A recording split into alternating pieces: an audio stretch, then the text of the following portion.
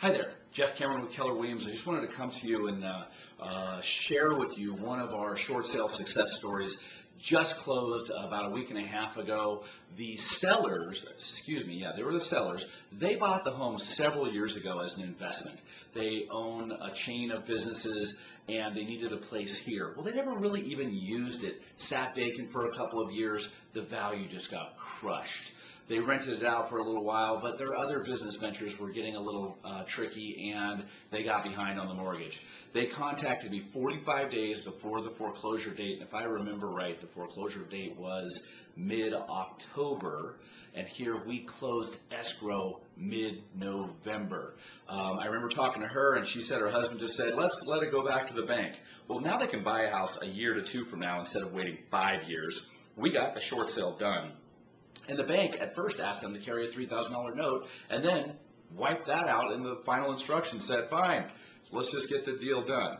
So uh, that was one of those success stories. We got it on the market right away. We got it priced aggressively to, to attract a buyer. We needed one right away. The bank did counter in this situation, one of the few where they countered.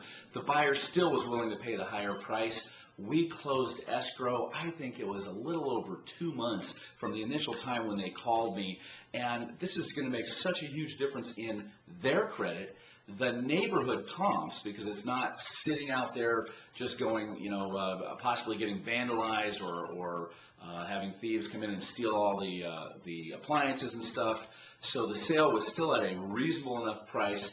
Uh, it didn't become an REO and it didn't become a vandalized property that sold at some tremendously low price. So anyway, if you or anyone you know is struggling with homes, uh, with your house payment, with financially struggling right now, let us know. Our first goal is to keep you in the home. We know for every family we can keep in the home, that's one more home on the market. But our second goal is to stop the foreclosure. Did you think three years ago that you would be where you are today? At the same time, you must think, well, where were you going to be in three years from now? And to not be able to re-enter the market would be such a drag. Uh, with a foreclosure, minimum of five years. With a short sale, one to two years, depending on the type of the market. It's the best thing for you. Let's try to keep you in the home first. Jeff Cameron, Keller Williams, give me a holler, shoot me an email if I can help you, or if you just want to chat or want some advice. Thanks very much.